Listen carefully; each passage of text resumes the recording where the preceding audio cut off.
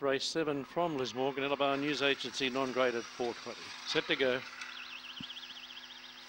Pure Imagery, Billy Brady bounced out tonight, and so too did Macy's Boots to lead Billy Brady down the back. Aaron Norris runs the third, followed on the inside then by going forward. Pure Imagery, well back on the outside. Premier Demand. So too then was Royal Oscar with Phantom Alex and Proper Lily. Macy's Boots the leader. Aaron Norris is getting home strongly, and further back on the inside was Billy Brady, but Macy's Boots nicely clear. Close to home will go on to beat Aaron Norris. Third Billy Brady, then Premier Demand, followed by Royal Oscar. Further back then was Pure Imagery with uh, Proper Lily and Phantom Alex.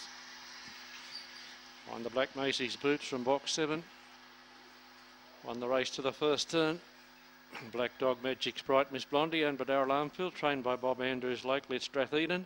Three even 180. Second Aaron Norris 250. Billy Brady third 150. They should be seven, six, and two on that event. 24.37 was the run. 24.37 home in 14.69. So we'll work at that first split for you.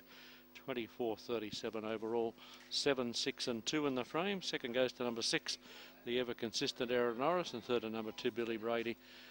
Led early but beaten for speed in the early stages there by Macy's Boots. Officially fourth has gone to number 8, Premier Demand, a half by one and three quarters the margins, a half by one and three